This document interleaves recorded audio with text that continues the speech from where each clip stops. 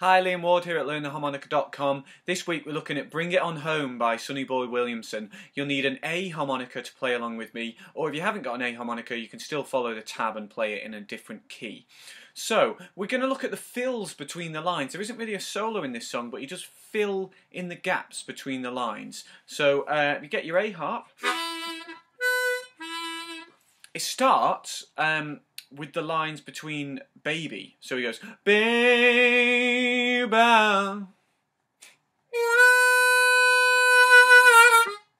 Like that, okay? So I've got it tabbed out on the screen as a four draw bend into a four draw. That arrow onwards means um, a scoop, as I would call it. So he starts with a bend and releases that bend. Um, he holds that note and gets some vibrato on it, and this is one of the the really three key things here. You've got to get the notes, you've got to get the bends, and you've got to get the vibrato really to get it exactly as as he does. So, okay. So four draw bend starts on the bend, so actually hit the note flat. Don't start on the four draw and bend down to it. Actually hit the bend itself. Can you hear that moving upwards? And then when he gets to the four draw, when he releases that bend, he plays, he uses his vibrato. Okay. Very quickly, it's for me, it's kind of a. But look at my lesson on vibrato if you want to look into that. If you haven't got a vibrato and you still want to get that pulsing sort of tremolo sound, you can use your hand. Okay, look at my lessons on getting a wah wah sound uh, if you want to learn more about that. So the four draw bend to the four draw, and then we have a very quick bend and release and then bend again. So, like that. So that's a four draw bend, four draw, four draw bend. Okay. And then he goes to the three draw. So if you put those together, you go. Now he might bend the three draw slightly. I've only put three draw in the tab, but there might be a little bit of a bend on that. So if you put both those phrases together, you'd get.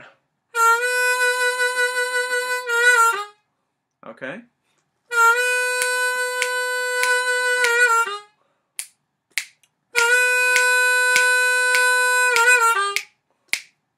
You could even join the two together, so you don't necessarily need to separate the first kind of note from the, the next four draw bend. It might just go up and down as one, as it were.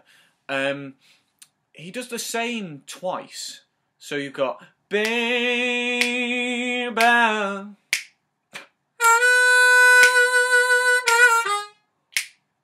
Baby.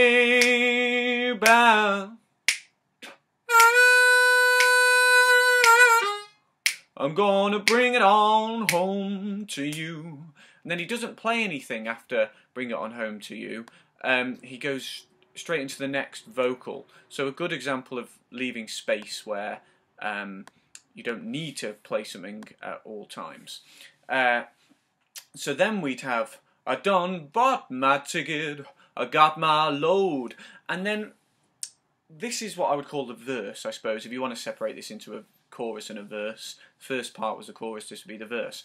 Over the verse, he kind of only really plays down the bottom few holes, and it's not the exact same thing between each line, but in the tab I've basically written out the same thing. I've written two, a load of two draws, which I'll qualify and explain a bit better now.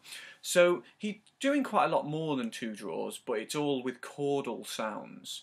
So there aren't clean, clear notes there. He's not just playing that sort of thing. He's actually getting more of a chordal kind of.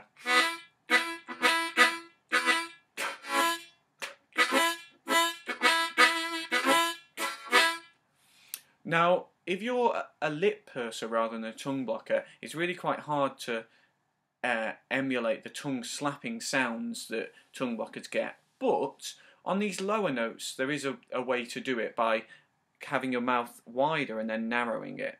Okay, so we'll look at the the um, the notes really, or the rhythm to begin with, and then we'll talk about how to fatten it out with that chordal sound.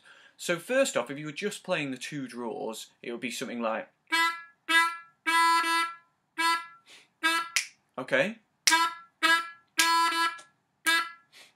Try and join in.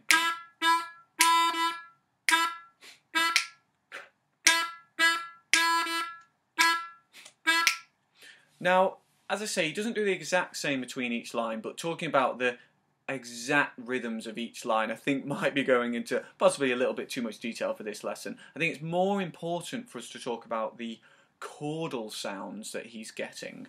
Um, so aside from the rhythm, the there's that lovely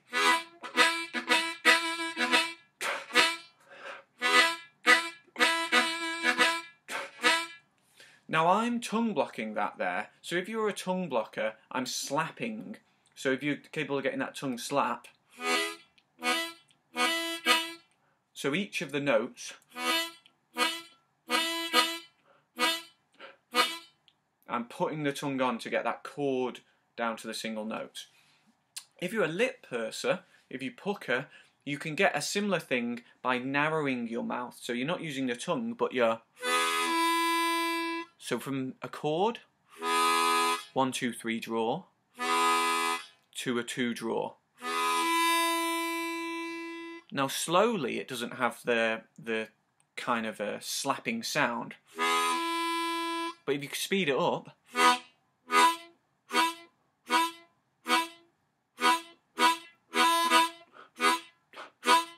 it's a, an approximation of the tongue slapping sound. So that is a way with the uh, lip purse to get it sounding a little bit tongue blocky.